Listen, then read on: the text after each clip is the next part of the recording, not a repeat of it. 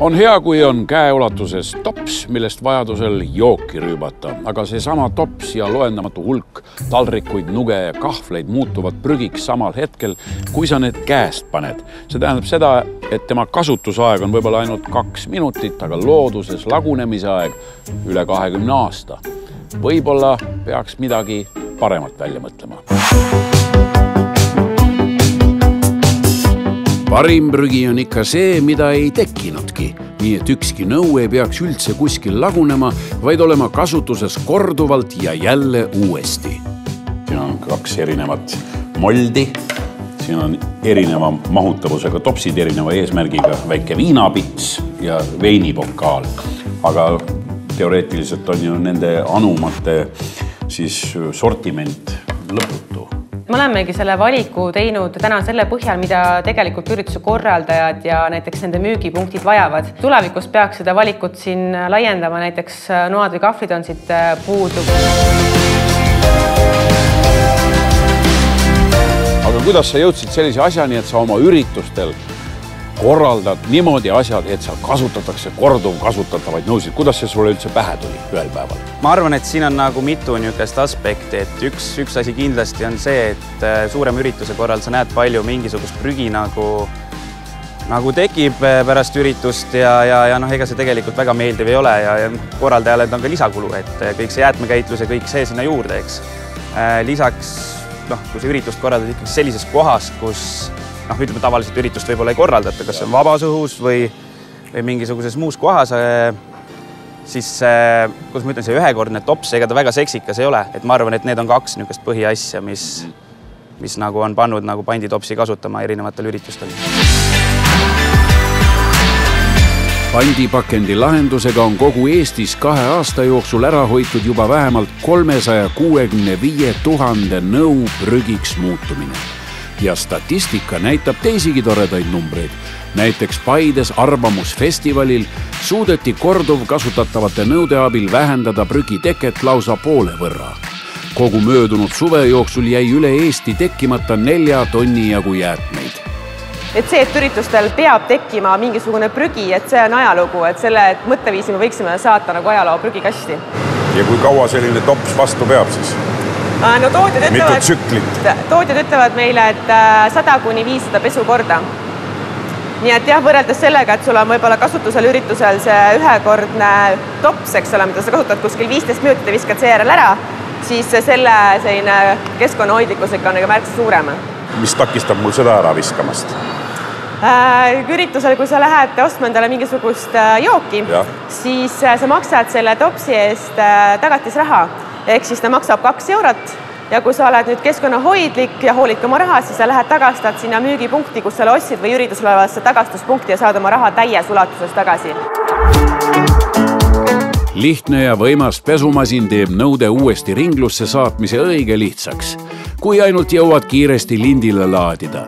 tunnis saab puhtaks kolm tuhat kakssada topsi või seitsesada viiskümmend pokaali. teeme siit välja ja siis põhimõtteliselt hakkab ükshaaval niimoodi ladumine siia pihta. mina ei ole ka väga vilunud, et äh, meil on siin äh, pesija, no neiud ja poisid, kes on äh, väga kiired.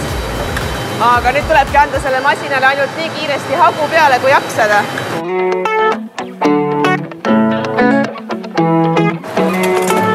et need topsid siis äsja läbisid siin selle eelleotuse või loputuse siin faasis nad lähevad põhipesusse, äh, järelloputus toimub seal kolmandas äh, kastis, seal faasis ja siis juba hakkab kogu kuivatus, mis on juba üheksakümne nelja kraadi juures selleks, et mitte ükski veepiisk ei jääks näiteks siia topsi peale, et oleks ilus esinduslik sellest juua. ikka päris palju vett kulub kokkuvõttes ju tegelikult see vesi, mis seal kolmandas faasis kasutatakse, liigub ju tagasi esimesse, nii et ka see vesi on siin ringluses.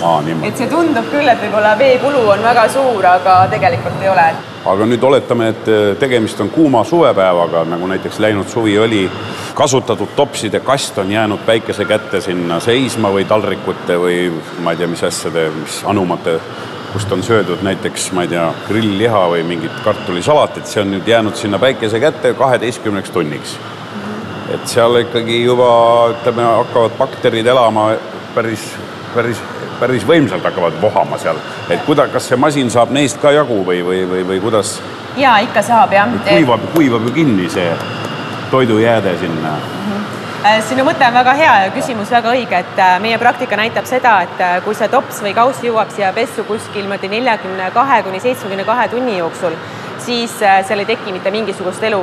Aga kui juba on pikemalt päikese käes, siis tõesti võib seal juba tekkida võib-olla kerge selline hallitus. aga meie eesmärk ongi saada need topsid pessu võimalikult kiiresti. ja kuidas me saame olla kindla topside hügieenilisuses, et me teeme nendele teste luminomeetriga ja, ja seal me siis tuvastame, kas see pesu kvaliteet on nõutud äh, tingimustel või levelil või mitte, on ju. ma võtan ühe topsi siit mis on läbi käinud sealt aparaadist nüüd ja mm -hmm. kuidas sa nüüd siis selle pulgaga siis seda puhtust mõõdad? mul silma järgi tundub, et päris puhas on.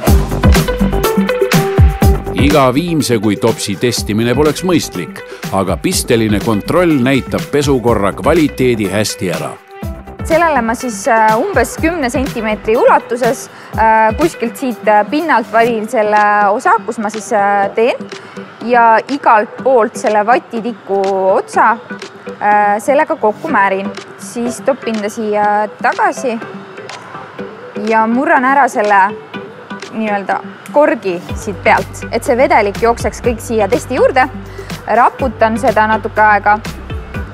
ja siis läheb ta juba siia, siia masinasse sisse ja umbes kümne sekundiga siis tulebki see test äh, näitab, et on läbinud testi ja, ja tulemus on väga null, hea. null RLU, mis see tähendab siis? Äh, see näitabki siis selle hügieeni äh, piirmäära, et ERLU-d on nullist kuni kolmekümneni on siis nii-öelda siis roheline.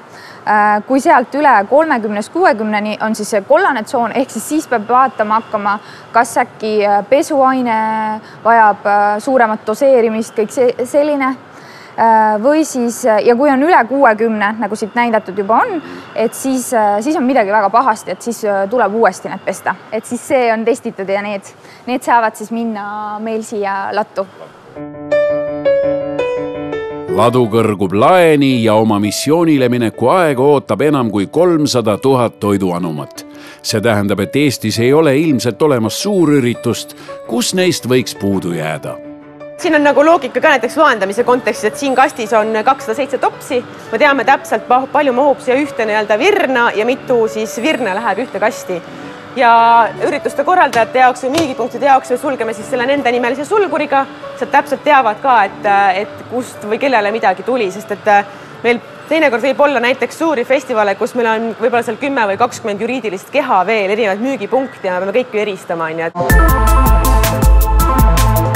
see, see esimene kord on ka meeles, kui sa kasutasid korduvalt kasutatavaid nõusid, et, et kas olid mingisuguseid kõhklusi ja kahtlusi ka selle, selle, sellise asja suhtes? ei, mingeid kõhkluseid otseselt ei olnud, aga nagu, mis me nagu esimese ürituse ajal aru saime, oli see, et inimesed nagu päris täpselt aru ei saanud, et noh, see tegelikult tähendab seda, et me küsime ju kaks või kolm eurot on ju panti selle topsi eest, kui ta nagu üritusel on, et, et siis võib-olla see nagu niisugune nagu töö juures seal, et kõik, kõik baaridaamid pidid nagu seda selgitama, selgitama, et näed, et kui te toote selle tagasi, saate oma raha tagasi, aga täna ma arvan, et noh, nüüd need kaks aastat, mis siin nagu suht hullult on nagu seda kasutatud, onju. baaridaamid ikkagist nagu alati nagu ütlevad seda, et see on panditops, siis juba kõik on tavaliselt niimoodi, et jah, me teame küll, mis see on. ma nüüd ma siis äh, joon selle tühjaks õlust mm -hmm. ja nüüd ma siis panen tasku selle, sest et ma tahan ju varsti jälle õlut juua. no see on jah, külastajate enda valik tihtipeale, et kas nad soovivad selle näiteks kohe tagastada, aga eriti just veinifestivalidel oleme näinud, et inimene võtabki selle pokaali ja ta isegi ei too seda vahepeal nagu tagasi tagastuspunkti, vaid ta kasutab terve ürituse vältel. kui kaua selline plastikust läikiv ilus klaas, et mitu tsüklit see nüüd tõesti kannatab seal masinas uhada ja, ja kasti tagasi, kasti tagasi käte vahel ja nii-öelda, kaua ta on selline, ütleme, ilus ja meeldiv püsib? Jah, ma lõpuni tegelikult selle pokaali puhul sulle numbrit täna öelda ei saagi, et kuna me alles alustasime selle teenusega ja me oleme võib-olla käinud nendega läbi siin kümme-viisteist pesutsüklit. no tootjad ütlevad, et võib-olla ta jääb sinna kuskil saja juurde mm, -hmm. aga pokaalide puhul jah, see kriipimise ja kraapsu nagu tekkimise oht sellele pokaalile on märksa suurem ja võib-olla me peame selle natukene varem ringlusest ära korjama, aga eks see nüüd selgub siis lähiaastatel, et kuidas see praktika tuleb. üleskutse ka, et isegi kui sellel veinipokaalil või mis tahes pokaalil, smuutipokaalil on väike mingisugune võib-olla kulumisjälg nagu peal, et me ei pea sellepärast seda ju ringlusest ära võtma, et kui me näeme, et festivali külastajad taluvad seda väikest kriipsu ja kraapsu ja ei kaeba selle peale, siis me hoiame neid ka pikemalt ringlusel, et tegelikult see ei muuda ju selle tõttu selle joogi maitset. aga selle eest saab olla meie loodus ja keskkond puhtam. ja, ja, ja siis hiljem saab selle, sellesama asja nagu uuesti üles sulatada ja samaks asjaks teha või? veinipakaali puhul kasutatakse litraani, et see nüüd nii lihtne ei ole, ei ole. aga küll aga nende teiste topside puhul, mis me vaatasime, on küll ringlusse võtmise võimalus, et me saame selle suunata siis uueks topsiks taaskord